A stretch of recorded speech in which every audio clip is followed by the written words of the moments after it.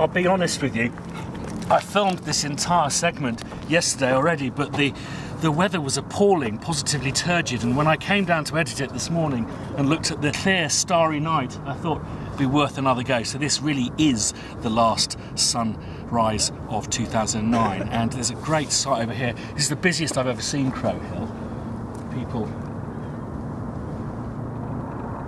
watching the sunrise here, but also if you look over to Arthur's Seat there, there's absolutely, well, certainly dozens of people. Let me uh, set up camp for a review of 2019. A year that has had colossal highs, I would say the highest of highs. But in order to have colossal highs, you often have to have devastating lows, otherwise, everything would just be middles. So I thought what would be fun would be to review not only the year but the decade in the videos that I and we have been making. First, my top five moments of 2019 caught on film, starting with, well, of course, the beginning of 2019 meant a new start for us all, a new HQ. And I would like to say the motivation behind building the new HQ was a romantic one, but it was somewhat more practical. We had become, how do I say it, fecund in our production of poos. Too many people, not enough loos, too many poos. So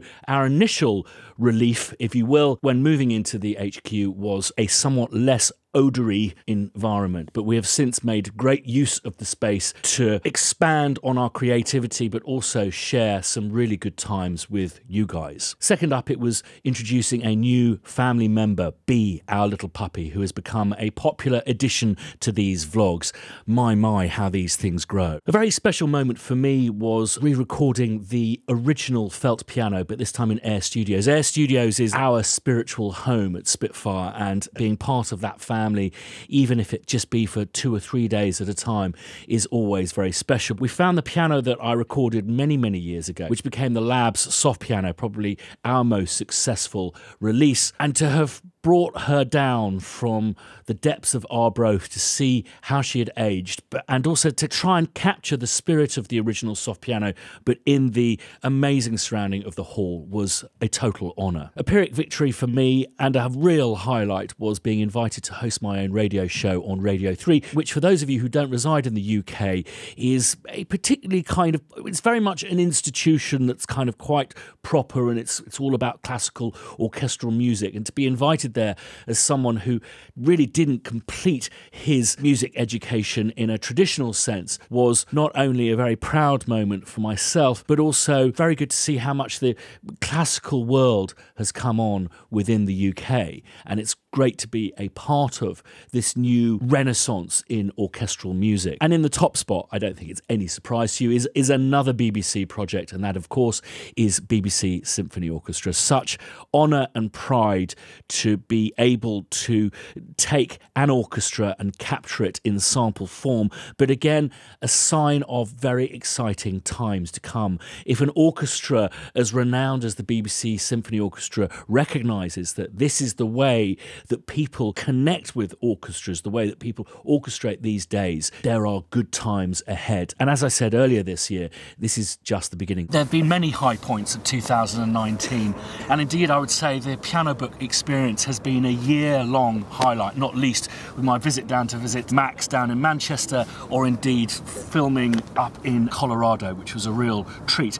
I've afforded Piano Book its own kind of review in the shape of a, well, this is kind of new for me, an, an honours list, which will be coming very soon. For me, Piano Book forms the first of three key ambitions I have for Spitfire and my involvement with the music industry over the next decade, and that is concept of perceiving sound as a third right for us composers. You've got your recordings, you've got your publishing, but some of us, not all of us, but some of us pride ourselves on making sounds. And I think this is something we should monetize, promote, enjoy, and celebrate. So what's next, Shed Henson? Next up, my top five fave videos of the year, the first of which some of you may have missed. I don't know, when I travel internationally, you'd think that I would use the jet lag and the exhaustion of traveling as an excuse to maybe chill out a bit. But I always see, I think it's something to do with loneliness. I always give myself challenges that make my trips even more of a challenge. So I thought, seeing as I'm in Tokyo and am a long, long way away from my sample drives, that I would find something in my hotel room and see if I could make an entire track out of that one single object a wine glass which I have stolen. This one was really difficult. Not only was I trying to make a sample library out of a really shit wine glass that I found in my hotel room in Japan, but I also tried to create a video that was compelling and interesting, along with a piece of music made totally from this wine glass. So I have a strange grudging affection for it, like you would a kind of crying newborn baby. With the next one, I was really delighted that this became popular because it really was me making up science as I went along. What I did is I pulled it apart. What I realized was that that kind of represents what we're doing when we're tuning stuff down. The real pleasure for me was, was there was a genuine interest in a question that hadn't been answered. And whilst we're on the subject of COD science, I took my COD science to another level when trying to come up with an excuse for why us keyboard players play ahead of the beat. You can see that I've played enough ahead of the beat so that the actual note forms on the beat. So that's my natural instinct. I'm quite chuffed with that actually. And I guess the reason I look back on it affectionate is I didn't expect to prove, I think, you know, quite categorically my theory, and that was that we we don't have poor sense of timing. We just tend to learn on pianos, and the mechanical nature of them mean that we do actually have to play ahead of the beat so that the pianos sound in time. And when we move on to these electronic triggering devices, we naturally play ahead, but unfortunately, it sounds ahead. Modular Mondays was a little bit starty stoppy this year, something I'm going to rectify next year you wouldn't believe the stuff that I've bought over kind of Black Friday stroke the Christmas sales. So I'm looking forward to showing you all of those. But what I've really enjoyed on my modular journey is thinking out of the box. And this video was.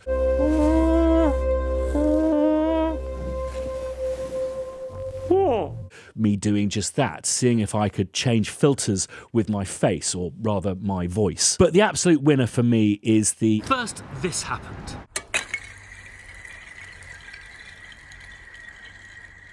Ice Choir, which I actually did really early in 2019. This is where the local loch got frozen over and I threw ice on it and it was kind of staggered to find that it made this almost choral sound. So I went back very late at night and recorded it when there wasn't too much traffic to create this virtual ice choir. That's what I love about that video is the, the just the sheer romance of nature. Why is it an ice lake sounds like a kind of a children's choir and not say I don't know, a peacock. It gave me a window into how I could make this vlog very successful. But I fear traveling around the world, finding music and sound in nature wouldn't make a good father of me. So that's maybe for a different lifetime. So what's next, Shed Henson? One of the greatest honours of this vlog is that I get to meet and talk to people and share war stories. These are in no particular order, simply my highlights of great conversations, not least our very own composers, Homay, Oliver, and Louis. And again, learn things that are kind of quite surprising that Oliver was going to be a professional footballer, for example.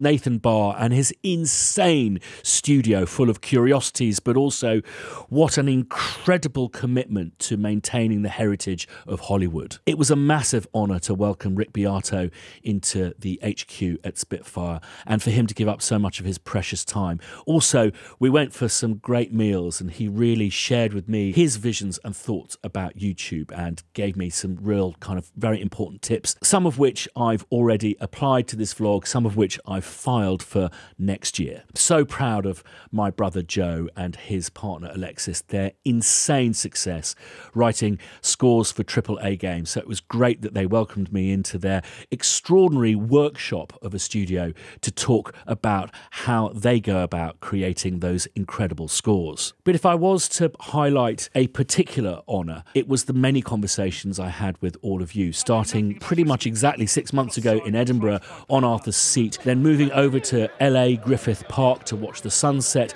the golden hour walking across the Brooklyn Bridge. It was an incredibly romantic vision. And ending up back just about five metres away uh, just a few days ago with some familiar faces and some new faces. I do really encourage you to, if you're close by, come along to one of these walks. It's not really to meet me or the other Spitfires, but just an opportunity to meet other composers in your areas. And this forms the second ambition I have for Spitfire and our community over the next decade, and that is the formation of nodes. Nodes are the intersecting kind of nodules between a network. I believe coming together is the future for us as a profession, for us to define our profession both now and in the future, not have it defined for us. You know, the horrific lawsuits that have been going on between musicians, the erosion of rights, these will only be cured by coming together. We have obviously a big kind of node or hub in London, there's one being built in New York, in LA,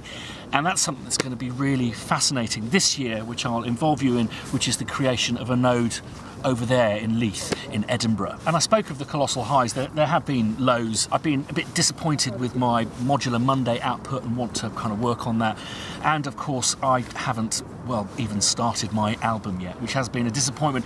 I guess all of this pales into insignificance when talking about the loss of my father. He unfortunately passed away really just days ago after a really massively long disagreement, as he likes to refer to it, uh, with cancer. He's a very important character in my life, so much so I'm going to make a film about him for you because his impact on me with music is is profound.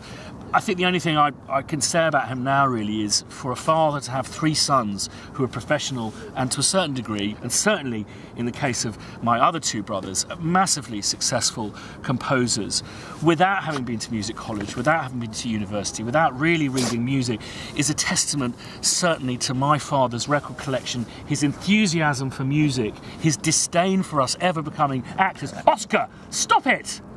It's your sister. His disdain for acting as a profession, thanks for that, Dad. And his indifference, I would say, to authority born of a pretty horrible childhood spent in boarding schools. Yeah, love you, Dad. Uh, that's all I can say for now. I guess one of the things that these things make you think about is um, your own mortality and your own health. And I think uh, a real um, thing that I'm really struggling with is the, the, the travelling. And so what i have decided to do is an epiphany, and I think this is something that I hope you think about, is to not become a victim, to actually go that you are actually in control of your own circumstance, not least being a founder of a big company. You know, I've been very guilty about having moved to Edinburgh, and, and, and that stops this year. I'm going to build a base here that people can come up from London to visit me. Uh, we can create community here. I want to become an employer in Edinburgh, in Scotland. There's an amazing city of Glasgow, there's an amazing music city just over that way. So let's lighten things up again and head back to the shed to look at my next selection of videos. My top five purchases, well, that's not entirely true because one of them was given to me, but my top five purchases of the year would have to start with.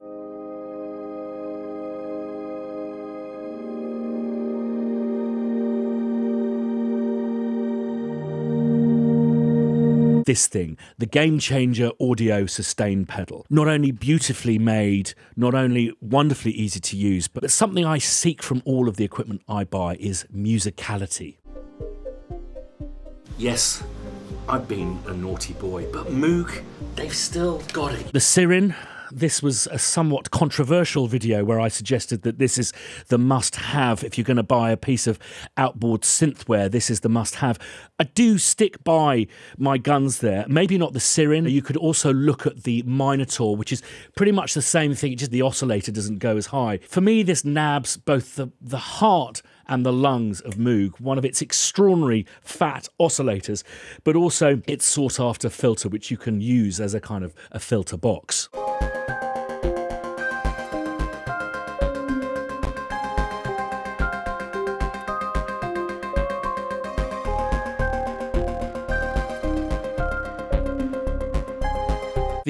The Polyend Seq, which is just a sick sequencer, so beautifully made. Look at all of this wonderful wood. You know, you can see that this this is going to be mine. It's going to be original, but just intuitive to use, and again, musical. My most popular video of all time, the Novation Peak the Novation Summit. An extraordinary keyboard, one because it's very intuitive and musical to use, but also they have really invested in the people that they have got to do some presets. And I believe that I've been asked to do a preset kit for that next year, which I'm really looking forward to doing. It's interesting, this video was my second insight into how I could really make this YouTube channel fly, but I don't have an interest in becoming a tech reviewer. And it may be arrogant to say this, but my hope with this vlog is not necessarily the videos themselves, but more the conversations that they spark. As I've always said, the, the heartbeat of this vlog are the comments that you write, and I thank you for them. So it is, I think, about a balanced diet of some tech reviews, some workflows, me ranting around the planet, and indeed uh, meeting and talking to new people. So what's going to be number one? My favourite bit of kit of 2019. Well, this was recommended to me by uh, a Mr. Gary Barlow.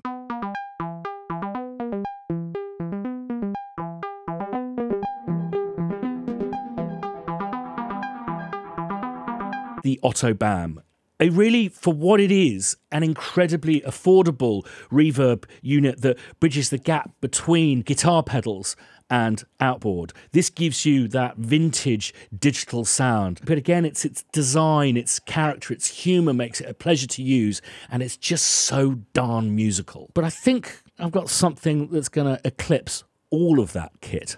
Bought it maybe a couple of months ago, but haven't shown it to you yet. But you may have seen it on one of the videos. What do you think that could be? I did a call out yesterday, linked above. Worth checking out just for the comments, don't watch the video, regarding what your kind of favourite purchases 2019 have been. Thank you so much for being really polite and not putting loads of competitors' uh, sample libraries up. It's not what I intended. I would have been very interested. Uh, indeed, I think Omnisphere made a few appearances. Loads of Albion One buys. Well done. Really good choice. Um, and indeed, just a, a, great selection of different Spitfire stuff. But also, uh, I enjoyed your comment about a pair of walking boots, and someone mentioned a large trampoline in their garden. Uh, good on you. Cheers. Do remember though that you don't need any of this stuff. As I've always maintained, a microphone and a computer is really all you need. And if there's any recommendation I would have this year, that is to make your own sounds. It is the easiest way to create what it is to be you, and that's something that I will strive for in my own output and would really, really urge you to do also. Follow your bliss and be yourself. It's not as easy as it sounds, I know, be yourself because everyone else really is genuinely taken. But it's not just 2019 we're saying goodbye to. It's the teens as a whole. And when thinking about this last decade in Spitfire, I thought, well, you know, we're kind of 12 years old now. What is so special about this decade in particular? And when looking at our YouTube channel, I discovered that it was exactly 10 years ago when Paul posted our first video. So I thought I'd go through each year with one video that we've posted on YouTube and how, wow, we've got better over the years. The first being.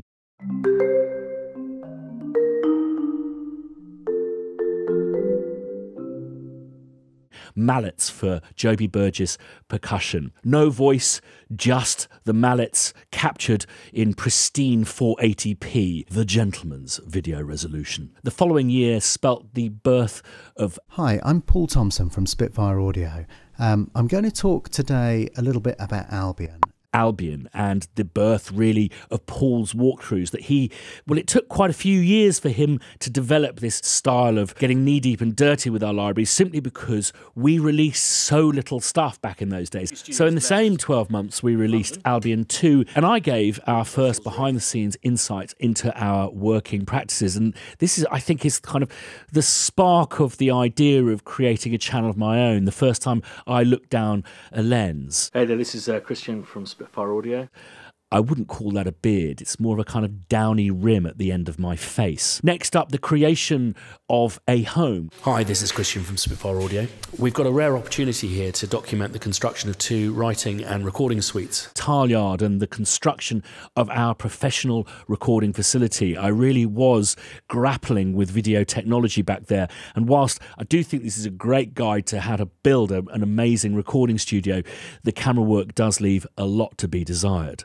And then we have what we call kind of mid rooms which are about six to ten feet away, which just give you the sound with a bit of space around it. I think the things that make up a great sound is a great performance. What a total honour uh, and just kind of a pinch me moment. Us releasing Hans Zimmer percussion, something that took us a year to create because I believe back then there was only about six people, not even employed by Spitfire, six people associated with Spitfire. So it took an incredible amount of effort. And thanks, as always, for the enthusiasm of someone like Hans Zimmer in supporting Spitfire Audio on the many projects we've done with him since. And the following year, we did something totally bonkers.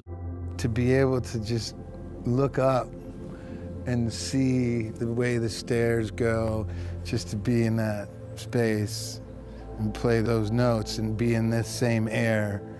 Goosebumps, man, it was amazing.